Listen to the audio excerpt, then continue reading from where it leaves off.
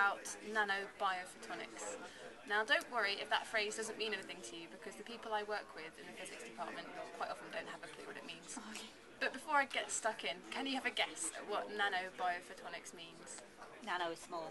Well done. That's very correct. Sorry, I yes. took the easy one. Oh, damn. it involves light Yeah, well done, yes.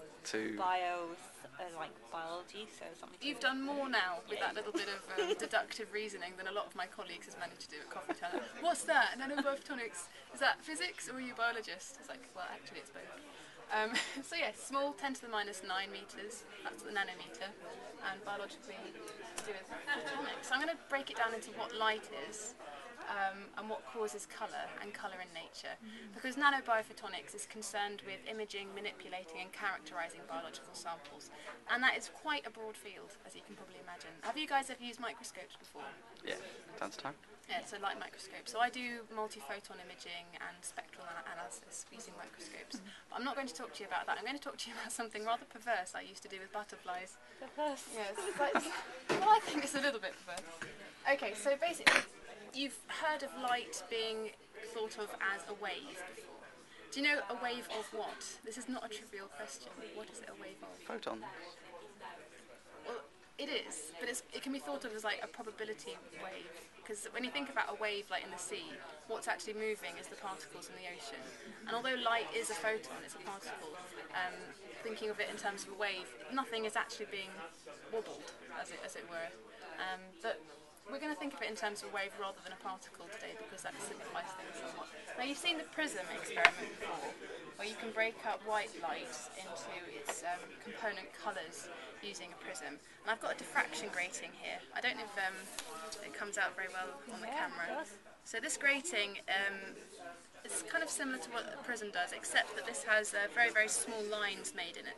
And uh, so this is illustrating that light interacting with small structures can have an interesting effect in terms of colour. I'm not going to go into the theory of it too much, but um, if you want to take a look at the universe through a diffraction grating, it's quite psychedelic. it's quite fun. So that's demonstrating that when light interacts with small things, interesting stuff happens colour-wise. Um, so you've seen one of these charts before at school. Uh, so you've got the visible region of the magn- electromagnetic spectrum. It's very, very small compared to the whole range. So we've got all the way down to radio waves, all the way up to gamma rays. Um, so the wavelengths that we're looking at um, are sort of like a few hundred nanometers, basically. So it's quite small structures. So in order for this um, to interact with light in this, the way that it does, we've got 600 lines per millimetre. So it's very, very, very small grating. So we know that, for instance, this top is yellow because of the way the light interacts with the molecules that make up this. And we dye it to change it to make it different colours, and it absorbs some colours and reflects others, and that's what makes it yellow, and that's what makes this green. But um, absorption and scattering in that way isn't all that gives colour. As I've just described, structure clears colour. So why do you think a bubble, a soap bubble, gives beautiful, first of all, um, quite bright colours, and second of all, why does it change? Why does it shimmer? We did The have the light is falling on the bubble structure. yeah, it's to do with the structure of the bubble. So um, the, the thickness of the bubble skin determines the colour that you get out. So some light will fall on the surface of the bubble, and some will travel through to the bottom surface. And the bottom surface light will reflect back up through, and the waves will interfere with each other, and some colours will cancel out and other colours will add. So it's the thickness of the bubble skin that determines the colour. So as the bubble, um, the thickness of it is moving and slightly changing with the wind and temperature, that will change the colour, and that's why it changes. And that's why in this one you can see dark spots here. That's because this, the thickness is uh, decreased to the point where you can't get this interference effect anymore. There are other ways that you can get light. These are naturally occurring fluorescent dyes, or fluorescent ores. I got this image from Wikipedia, and it's my back backdrop on my computer. Um, so these are an- another example of colourful structures. But I'm going to talk to you about beetles. Now, here are some really beautiful insects. Bought wow. this, as with many things in life, I got these from eBay. So this is an example of the beautiful structures, uh, beautiful colours that you can get from nanostructures um, from nature. So each of these has a different nanostructure on it. Now the surface of beetles is um, made of a protein called chitin, and this is very, very lightweight but very, very strong. And we scientists who are looking to industrial applications, for example, you've heard of self-cleaning glass. Um, or you might not have done actually. Self-cleaning glass is a, a structure on, on the surface of glass which um, enables dirt to be lifted off when rain falls on it. That idea for that came from the coating on a plant. So we're always looking to nature and interesting optical structures in nature to kind of mimic them and, and to use for our own technology. But there's one type of beetle called the rose chafer, this little chap here, and the, his surface is very remarkable in that the green colour is circularly polarised light. Now, you've probably been to the cinema and um, seen 3D films recently. I just need to check this is the right way up. And, yeah, so, if you hold this, this is a polarising filter, and if you hold it in front of the beetle and rotate it, can you see the green colour changing to brown? It can be difficult in intense sunlight to see this. Yeah, I can. Kind of. Oh yes, yes, yes, yes. Yeah? It might be easier if you try it yourself. Try it yourself. Okay. Uh, if it's hard to see, the left image has not been um, manipulated anyway. The right hand image is taken through a circular What are you polarizer. rotating? You can just rotate the whole thing. Oh, you well, can is that what actually you're doing? things- Oh, right, okay. well. Yeah, yeah, yeah, yeah. Yeah.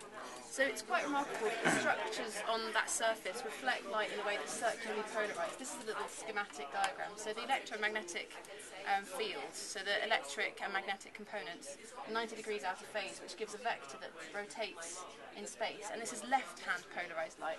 And the structure on the surface, if you zoom in using an electron microscope, zooming into 50 microns, 10, 15 and 10. But this is under, um, this is with the filter and without the filter, so it's green or brown.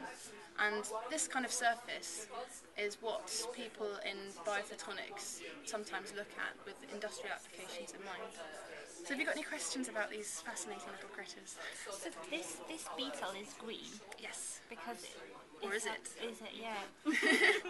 it's because it's green because the light has been shining on it for so long, or why It's is green because of the structure, the way the light interacts with the surface. Okay. In the same way that the bubble is coloured because of the thickness of the, of the surface of it. So then why is this one orange and Mm, well, the, the way that beetles see each other is very different to how we see them. Bees, for instance, can see ultraviolet light, so the way they see plants is very different to how we see them. Now, there's lots of different reasons why beetles have such vivid colours. Sometimes it's camouflage, other times it's a warning if they carry a poison, and sometimes it's to attract a mate. Because the most ridiculously large and attractive beetles are obviously going to be very visible to the predators. And if they can fend off predators in spite of being ridiculously large and flamboyant, that shows they must be quite strong. There's lots of different kind of So they've got reasons. some. So so you said this was made of chitin. So have are they made of different things to give them those different colours? Well, structural colour isn't the whole story. There are also pigments within, uh, like butterflies, for instance. The scales on butterfly wings, if you've ever touched a butterfly and had the, the, kind of powder come on your fingers, that can partly be pigmentation and partly be structure. But these, the structural protein for all insects is the same. It's all chitin, and it's very similar to what you get in shellfish. That's called chitosan, and these are all very interesting biopolymers. We've been using chitosan as a, as a drug uh, kind of polymer to, to dissolve drugs within the body. So, yeah. You can take one of these out if you want to have a look at the underside. 'cause I think a, a leg has fallen off this one. yeah, Yeah, they, they I do think get. it's dead. It's fine. they do- He's not going to need it. but these ones Yeah, that's don't be- exhibit beautiful. the circularly polarised light phenomenon. So that if I the looked does. at this, would it change? No, no, those ones. It's only that particular structure that gives that, and it's quite remarkable in nature to have this, which is why it's um, it's quite a high impact factor publication. Right, so how am I doing for time? Minute left. My, my stopwatch actually stopped halfway through. so do you have any more questions? Um, applications of this kind of technology, Well, apart from Um, movies. You can scale up nanoscale structures to look at um, the interaction with microwaves. That's one group in, in physics department's been looking at, and metamaterials is one application. So trying to make um, weird interactions. They're trying to make objects appear to be invisible once you've got them in surrounded by a metamaterial. Um, it's only for one particular wavelength, but ultimately the application could be like stealth applications. Um, but yeah, nanoscale structures can be scaled up to look at other wavelengths, which is a lot easier to experiment with. Trying to um, recreate this structure is a bit of a pain. I use butterflies with uh, kind of a nanopillar structure in order to use surface enhanced Raman scattering, because if you coat them with metal, it really amplifies a particular um, spectroscopic technique that I was using. So I did it for protein sensing. there's so many different types of applications. You can also use it for cosmetics industries and cars, car coatings, you know, paints with iridescent colours like this. Um, that's one application. There's, there's just so many. Fibres, uh, coatings for optical um, components in laser experiments, and um, like I said, uh, self-cleaning glass. Yeah. And there's so many. There's so many. So uh, keep your eyes peeled for the next insect. I will. I'll- Awesome. I always want to trot on them straight away, but maybe I won't. Well, if, you, if you're interested, you can buy it like this box that I got off eBay. Yeah, it's Very from pretty, yeah. They're very pretty. They're, they're set in resin, so I can give these to school children without worrying about them eating them. yeah, that's great. Very good. Well, thanks for your attention. Awesome. Thank you.